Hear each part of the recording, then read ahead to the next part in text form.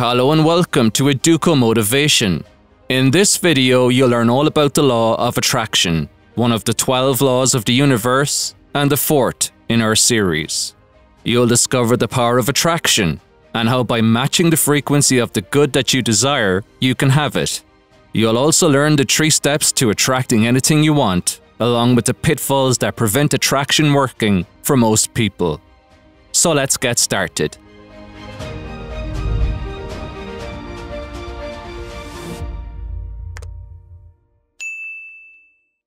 The law of attraction, one of the 12 laws of the universe, decrees that your thoughts are magnetic. They vibrate at a certain frequency and they attract all that resonates on that same frequency. So match the frequency of the good that you desire and you will get it. Of course, the analogy most often used to describe the law of attraction is a magnet. And while this usually refers to thoughts attracting things of a like nature, it is also reflective of your body's electromagnetic field. So, to really appreciate the concept of attraction, you need to understand how your body creates this magnetic force. Scientifically, magnetic forces are generated through polarity. Each magnet has a north pole and a south pole, with one end generating a positive charge and the other end generating a negative charge. This polarity or differential between the two ends generates an electromagnetic field. We see this with planet Earth. It generates an electromagnetic field that deflects the sun's photons, preserves our atmosphere, and allows life to thrive on Earth. Your body is also a magnet. Your chakras refer to seven specific energy centers within your body. The word chakra literally means wheel in Sanskrit and symbolizes the flow of energy in your body. As a result of their electromagnetic nature, each chakra creates a rotating vortex, which is projected outwards on both sides of the body. And because each chakra is a rotating vortex, they function like a magnet. They attract and pull energy to themselves.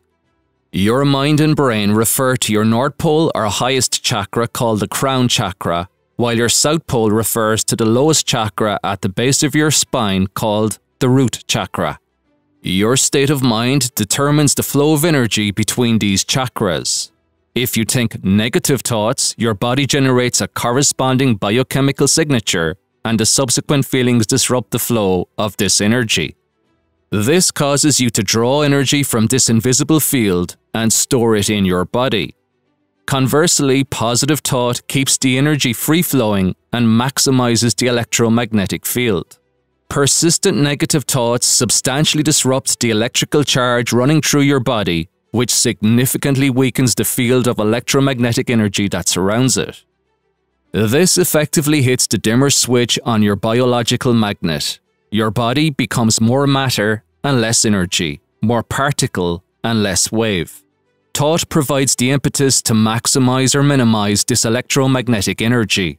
Thought itself is nothing but an impulse of energy and you originate thought with your conscious mind. This thought triggers associated feelings in your subconscious mind, and together they move your body to take the necessary action to manifest these very things. But how does this work? Well, your thoughts determine your biochemistry. This refers to the cascade of chemicals your body releases in response to your thoughts. And your emotions are heavily influenced by these biochemicals. So if you feel stressed, this emotion was triggered by fear-based thoughts, which produced elevated levels of the biochemicals adrenaline and cortisol in your system. Conversely, if you feel happy, this emotion was triggered by positive thoughts, which produced elevated levels of dopamine, serotonin, and endorphins in your system. Your subconscious mind will only accept thoughts commensurate to your emotional state, this is why it is imperative that you create the right emotional state when programming your mind. So when you feel gratitude, abundance, love and harmony, your subconscious mind is in a very receptive state and is malleable to these corresponding thoughts. Conversely, if you feel stress, anxiety or fear, then your body is in the throes of its fight or flight response, and such biochemicals will not allow effective access to your subconscious mind. Put differently, depending on your state, what you think about, you bring about. What you focus on grows. Thoughts held in mind reproduce after their kind. You literally change energy into energy, you do it all the time, and you are completely oblivious to it. So, to create a compelling future, your thoughts and emotions need to be in harmony. Thoughts provide the electrical charge, emotions provide the magnetic charge, and together they create your electromagnetic field. Your electromagnetic signature determines what you will attract into your life. Essential to this process is creating and sustaining heightened emotions such as love, peace, serenity, gratitude, happiness, compassion, kindness, and selflessness. Continuously living from these emotional states, irrespective of your external circumstances, locks you onto the frequency of the life you want. So, if your dominant thoughts are focused on the things you want to be, do, and have, then you magnetically attract these things into your life. This will bring you joy, happiness, and fulfillment. Conversely, if you spend your time thinking about the things you don't want, then you will continue to attract these very things. You'll fuel a perpetual cycle of pain, suffering, and hardship. Unfortunately, most people practice feeling negative emotions each and every day. Anger, hatred, jealousy, fear, and resentment are their default state of being. They are literally making a habit of attracting the things they do not want. Furthermore, your heart and your emotions are inextricably linked. The heart is the universal symbol for love, and love is the most powerful emotion when it comes to attraction. Pioneering work by J. Andrew Armour, MD, PhD, led to the discovery of the heart brain. With some 40,000 neurons, the heart has a nervous system that functions independently of the brain. In effect, the heart literally has a mind of its own, it beats before the brain forms in a fetus and continues to beat after the brain dies, at least until the oxygen runs out. Furthermore, according to the HeartMath Institute, the magnetic field produced by the heart is more than 100 times greater in strength than the field generated by the brain and can be detected up to 3 feet away from the body in all directions. We are literally broadcasting our emotions to those around us, and the electromagnetic energy within this field changes depending on our emotional state. Heightened emotions of the heart produce coherence in brainwave patterns and prime your brain to create your ideal future. The greater this coherence, the more potent the energy, the more powerful your thought waves penetrate time and space. So, how does all of this relate to the law of attraction? Simply put, we can whittle it all down to a neat phrase send a positive out, get a positive back. Send a negative out, get a negative back. You might not get it back instantly, but you will get it back. If you want to see the law of attraction in its simplest form, then give a friendly smile to everyone you meet. You'll immediately attract a smile in return. If you continuously think prosperous thoughts irrespective of your current circumstances, then you will attract prosperity in the future because like attracts like. Positive thinking supercharges motivation, fuels expectancy, drives action, and gets results. But if you put a crown on circumstance, if you keep focusing on the negative side of everything, then you will continue to attract negative outcomes. Energy attracts like energy. You'll be stuck on the frequency of your problems, and you'll be tuning into nothing but more problems. Albert Einstein knew this when he said, We cannot solve our problems with the same thinking we used when we created them. Match the frequency of the reality you want, and you cannot help but get that reality. Now, what you have to understand here is that the law of attraction is in fact underpinned by the law of vibration. Attraction refers to attracting things into your life that are in harmony with your dominant thoughts. Vibration refers to tuning into the frequency of the thing that you desire and staying there until you get it. So, everything operates on frequencies, and a frequency is a level of vibration. Your brain is an electronic switching station, and it functions on frequencies. Feeling is a conscious awareness of the vibration you are in. If you feel good, you are in a positive vibration. If you feel bad, you are in a negative vibration. You can't attract the things you want to be, do, or have if you are in a negative vibration most of the time. So you are in a positive vibration if you are feeling happy, passionate, grateful, excited, eager, thankful, and energized.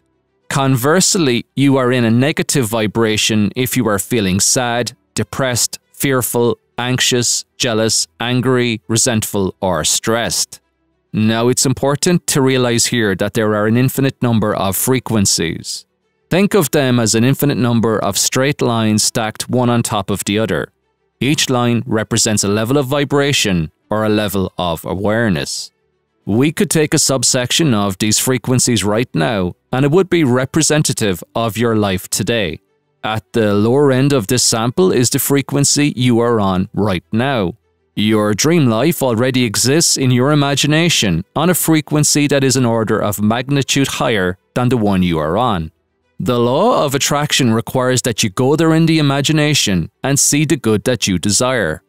The law of vibration requires you to lock into this frequency by holding the image of the thing you want on the screen of your mind and feeling excited that the good you seek is on its way. The laws of attraction and vibration work in unison to create your life experience. You can't have one without the other. If you're not happy with what you're attracting into your life right now, it's because you're on the wrong frequency and you're using the wrong tools. You're going by your five senses. You're going by what you see, hear, smell, taste, and touch. You're letting your present conditions and circumstances dictate your frequency. It's like tuning into a certain channel on TV. You only get the programs that are on that frequency you have to change the channel to go to a different frequency to get different programs. So we use our conscious mind to access our imagination and build an image of the good that we desire. Repeated visualization and affirmations impress it upon our subconscious or universal mind, which turns it into a desire. This desire changes the vibration your body is in and compels it to take the necessary action. If you believe your situation is hopeless, that vibration ensures inaction. If you believe your dream is unfolding, that vibration compels action. So it's the vibration that causes you to act, and the action sets up the attraction. Notice the word action actually makes up the last six letters of the word attraction. It's this action attraction that alters the results you get. Now you really need to get this. The desire changes the vibration, the vibration changes the action, the action sets up an attraction, the attraction determines your results. Let me repeat that again. The desire changes the vibration, the vibration changes the action, the action sets up an attraction, the attraction determines the results. If you wish to leverage the law of attraction to bring about dramatic improvements in your health, wealth, and happiness, then you need to utilize the three steps to attraction. These are step 1 ask, step 2 believe, step 3 receive. Okay, so let's look at step 1 ask. The first step in the law of attraction is to ask the universe for what you want. This refers to what you think about, talk about, read about, and pay attention to. You need to ensure there is no contradiction across what you think, say, feel, and do. It's really down to the type of energy you give off. It must be aligned, consistent, and in harmony with your goal. So if you know what you want, ask for it, are receptive to it, and act as if it's coming, then it will come. All manifestation ultimately starts with an idea conceived in the human mind. It's why you can't actually buy an original painting, because the original is in the mind of the artist. The painting itself is just a replica of the idea. This idea has psychic coordinates. It refers to a place in your imagination, and you have to go there and bring it here. You have to see the world from the perspective of that location. That's exactly what an artist does. The brushstrokes are made from the perspective of the imagination, and this manifests the desired outcome. So you can't see the world from the perspective of your present conditions and circumstances. See it how you want it to be and not how it is. Fake it till you make it. Work from the perspective of the thing that you desire. See the world from that location. Push circumstances to the edge of your awareness and view everything through the lens of your imagination. So hold the image of the thing you want in mind and make all your decisions from that viewpoint. Steve Jobs put it this way You can't connect the dots looking forward, you can only connect them looking backwards. So you have to trust that the dots will somehow connect in your future. You have to trust in something your gut, destiny, life, karma, whatever. This approach has never let me down and it has made all the difference in my life. So work from your goal back to your present and not from your present forward to your goal. I'll say that again. You need to work from your goal back to your present and not from your present forward to your goal. What do I mean by that? Well, the human mind is psychocybernetic in nature. This means it's goal oriented. It must have a clear image to work with. I say image because the mind thinks in pictures, not in words. Think of the thing you want, and it flashes an image on the screen of your mind. The whole concept of attraction is to start with the end in mind. Work from this final destination and not towards it. Imagination is the time machine that takes you there now. So keep visualizing the things you want. Talk about them in the present tense as if you already have them. Buy clothes that fit your ideal physique and not your current physique. Every time you put your hands on the steering wheel of your current car, imagine you're holding the steering wheel of the car you want. As you drive around in your current car, imagine you're driving your dream car. Imagine that's what others see as they watch you drive by, and that's what you see as you look out.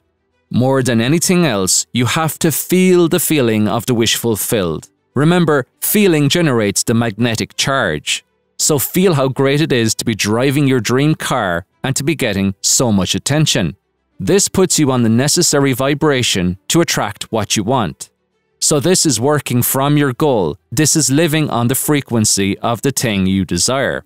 Now you need to realize something important here. Attraction is love. Love is the highest level of vibration a human being is capable of. Love is the feeling that ignites the power of attraction. It's essential you pursue things you'd love to be, do, and have, and never settle for anything less than that. There is a key distinction here. If you settle for something less than what you really want, you are instantly on a vibration of lack and limitation. This is why you should never settle for anything less than what you want. Dissatisfaction is a creative state that fuels action. Your vibration or inner feeling needs to be one of scintillating excitement. You can only have this feeling if you are moving in the direction of something you absolutely love. You need to know the what and the why and forget the how. In other words, go after exactly what you want, know why you want it, and trust the forces of attraction will help you to manifest it.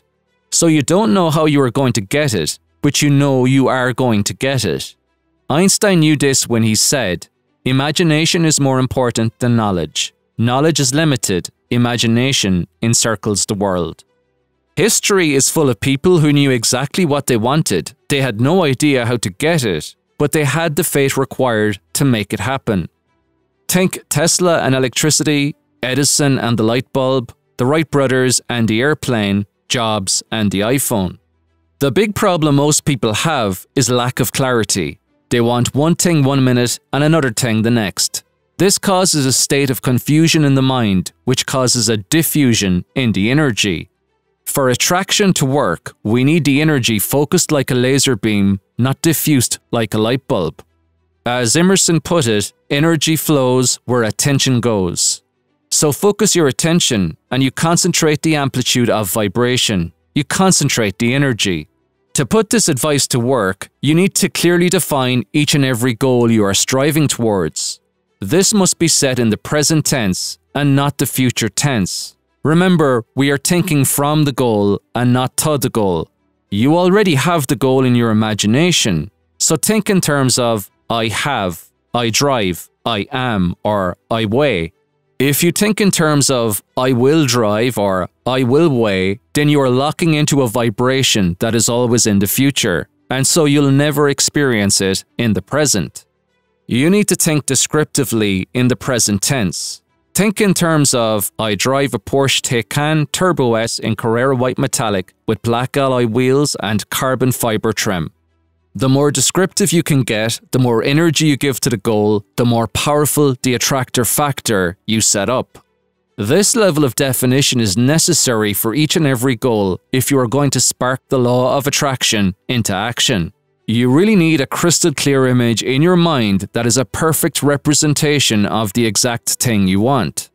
So go online, find images that are a perfect match to your goal, and download them to a folder on your smartphone. This is your digital vision board. Review these images first thing on waking every morning and last thing before you go to sleep every night. Really try to conjure up feelings of excitement and joy as you review the images and believe they are already yours. Step 2 in this three step attraction process is believe. Napoleon Hill put it well when he said, Whatever the mind can conceive and believe, it can achieve. So, having the goal in mind is one thing, believing you will manifest it is something entirely different. You see, the moment your belief matches with any state, you fuse with it. You and the frequency of the thing you want are in harmonious vibration. And this union results in the activation and projection of the necessary plots, plans, conditions, and circumstances to bring it out of the ether. This new conscious awareness becomes your vantage point from which you see the world and you will act accordingly. But if you don't think it's possible to achieve your goal, you'll never achieve it. As Henry Ford said, whether you think you can or you think you can't, you are right. If you think you lack the time, money, energy, or know how to achieve your goal, that is the vibration you are sending out to the universe. The universe will return to you the people, conditions, and circumstances to ensure that will be the case.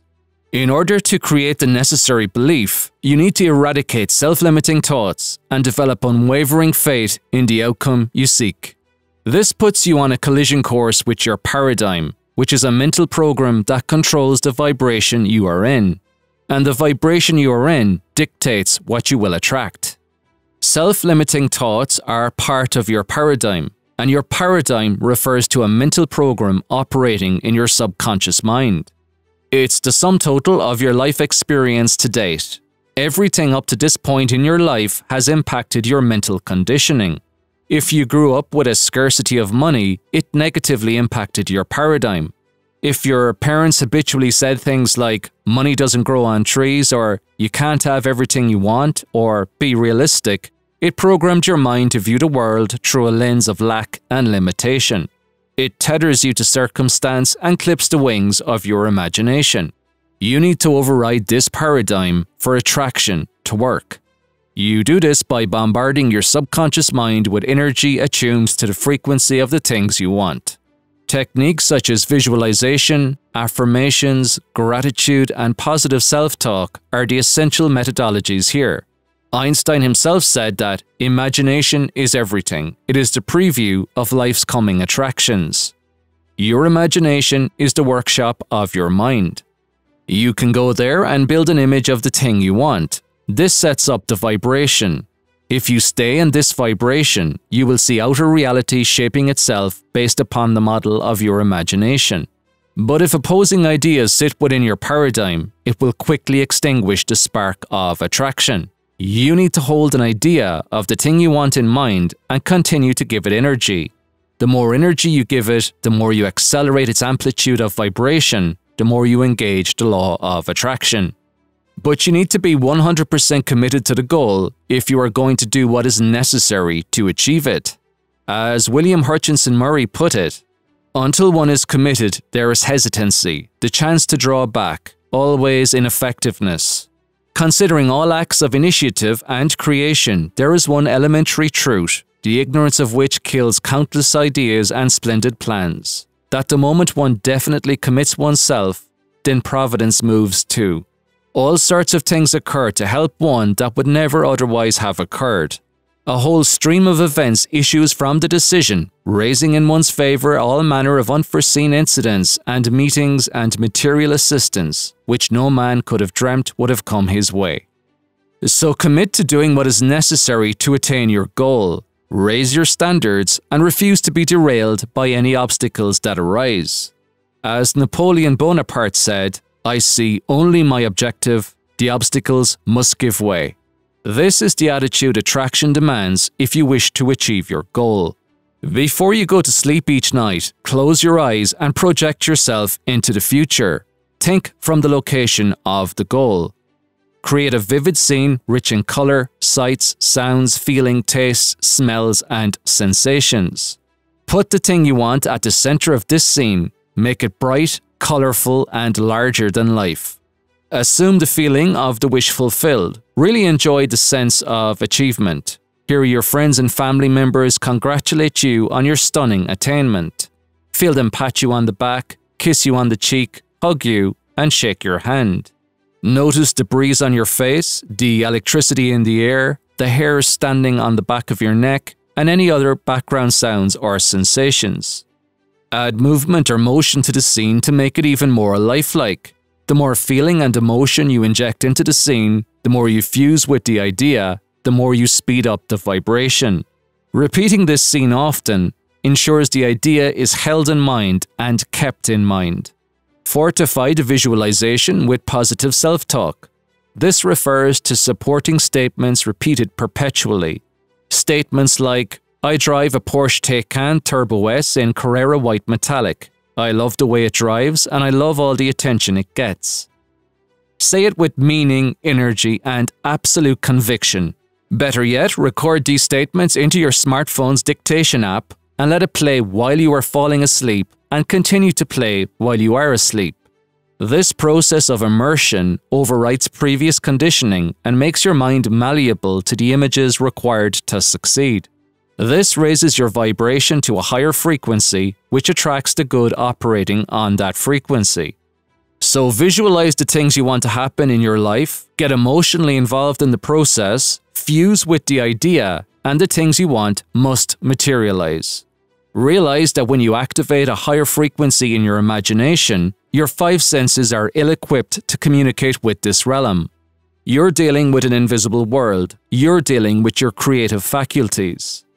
You engage with the universal mind through your imagination, it communicates with you through your intuition. So when you put all of these methodologies into practice, always trust your gut instinct. If it's nudging you to take particular actions, then take those actions. Okay, so let's look at step number three receive. At this stage, you know exactly what you want and you have absolute faith in its manifestation. This puts you into the physical vibration necessary to attain the good that you desire. This immediately activates the attraction process, but it also causes you to act. It moves your body to take the action required to transmute the image into its physical equivalent. In effect, we become what we think about most of the time. Thoughts objectify themselves. We don't get what we want, we get what we expect. So you must expect the thing you want to materialize. You must know it's already yours. But don't fool yourself here. This is not magic. There is a general misconception that you can attract anything you wish solely through positive visualization. While positive visualization is a key part of the process, it comes to nothing without physical action on your behalf. As Wallace D. Wattles stated, by thought, you can cause the gold in the hearts of the mountains to be impelled toward you, but it will not mine itself, refine itself, coin itself into double eagles, and come rolling along the roads seeking its way into your pocket. By thought, the thing you want is brought to you. By action, you receive it. Many people that watched the movie The Secret got excited about the law of attraction, but nothing changed in their lives. Why was that? Well, they failed to act in a manner that was aligned with the things they wished to attract. They didn't really believe they'd get the things they wanted, and so they didn't. If you consciously think you can't have something, subconsciously you create a what's the use mentality, which triggers an action and grinds the wheels of attraction to a halt. As Emerson put it, believe and your belief will help create the fact. But believe something is impossible and that too will create the fact. Allow me to illustrate this concept of attraction through action with something we can all relate to. Professional golfers have long since subscribed to the maxim the last thought in your mind is what happens to the golf ball. They developed sophisticated pre shot routines built around this concept. In effect, right before they strike the golf ball, they stand back behind the ball and visualize the shot they want to play. They imagine perfect contact with the ball, they envisage the correct amount of spin and shot shape being imparted on the ball, and they visualize the ball landing beside the pen. However, is that all they do? Is this simple act of visualization enough to land the ball next to the pen? Absolutely not. They need to take action. They need to physically strike the ball in order to transmute their thought energy into a result on the physical plane. This attracts the outcome of pitching the ball beside the pen. What people fail to grasp after watching The Secret is that we exist in a physical dimension. We have to interact with our physical world in a physical way. Yes, at the quantum level, our thought waves attract what resonates on the same frequency, but that does not negate the fact that we must physically engage our external environment. So, the law of attraction is all about thinking the thoughts that create the feelings that compel the action required to succeed. Remember, you have to get intellectually involved with the idea via the conscious mind, emotionally involved with the idea via the subconscious mind, and physically involved with the idea via the body. Consider your present conditions and circumstances. The great thing about the law of attraction is that your present results reveal the quality of your past thoughts. Put differently, your dominant thoughts in the past have shaped your present conditions and circumstances. They have manifested everything you see in your surroundings.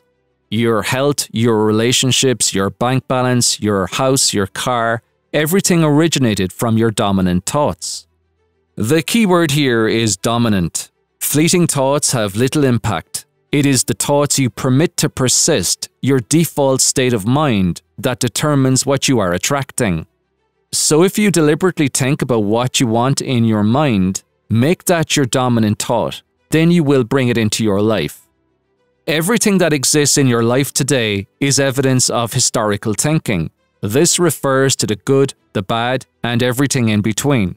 Your life is a microcosm of thought waves you sent out that perpetuated the action which manifested as your current results. No matter how dimly you view your current situation, realize that it can change dramatically, but only if you are willing to change. You are a sending station that's creating mental images of life's coming attractions. You truly are the architect of your own future, you just need to realize that the blueprint for your future is drawn from the thoughts you think today. Put differently, your thoughts are seeds, and the harvest you reap will depend on the seeds you plant. You can't plant carrot seeds and expect to harvest turnips. No matter how much you visualize the turnips, you'll still get carrots. So, action is critical to attraction. You must act in a manner aligned with the images you're holding in your mind. James Allen put it well in his book, As a Man Thinketh.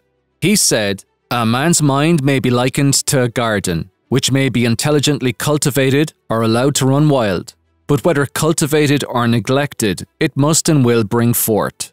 If no useful seeds are put into it, then an abundance of useless weed seeds will fall therein and will continue to produce their kind. In other words, nature abhors a vacuum. So if you fail to plant ideas supportive of your goal, the psychic seeds of fear, doubt, and worry will set in. So something is always growing, something is always manifesting. You are either advancing towards your goal or retreating. You are either expanding or contracting.